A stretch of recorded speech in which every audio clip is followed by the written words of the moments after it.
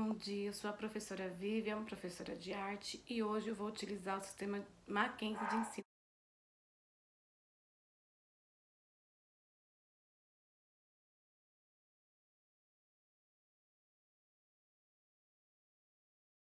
Para minha aula de arte. Para essa aula, eu preciso que você dê um espaço, se sente, relaxe e ouça.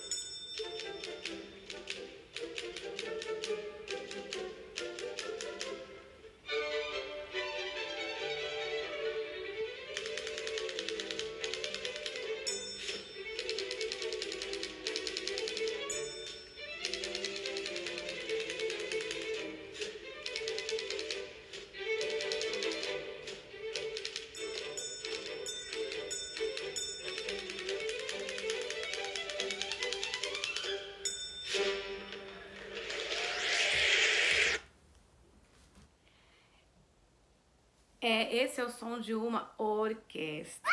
E Tipperwater, Leroy Anderson. Foi Anderson quem compôs essa linda música. Anderson, em 1908 a 1975, maestro norte-americano para a orquestra sinfônica, ele levou um algo inusitado para compor essa obra orquéstica. Qual foi? Você escutou? Vocês conseguiram prestar atenção no destaque dessa música? O que que tinha de diferente? O tipo de composição utilizada é o concerto. Nesse concerto, um objeto sonoro ganha destaque. Qual é esse objeto sonoro?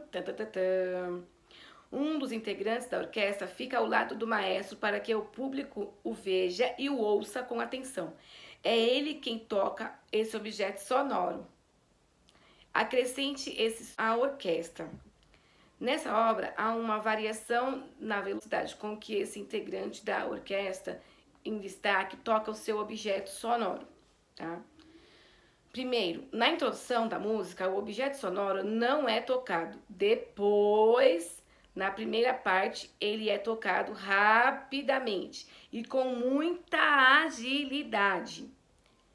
Na segunda parte, o objeto é tocado mais lentamente, mas sempre em sincronia com todos os outros instrumentos, ok? Já faz parte de um filme com o um ator de comédias Jerry Lewis.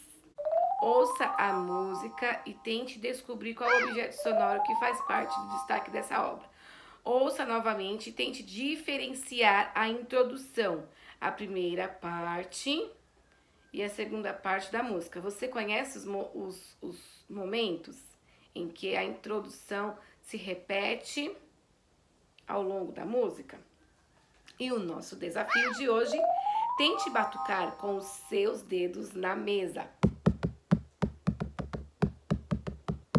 Acompanhando a música como se fosse fazer parte da orquestra, tá? Então você vai ser mais um, uma pessoa que vai estar compondo junto com essa orquestra, ok? Vai ser mais uma, um objeto sonoro compondo nessa orquestra. É, é, escolha um objeto sonoro que você tenha em sua casa para substituir aquele escolhido pelo compositor, o Anderson. Que objeto você escolherá? Vamos lá? Mãos à arte para o desafio.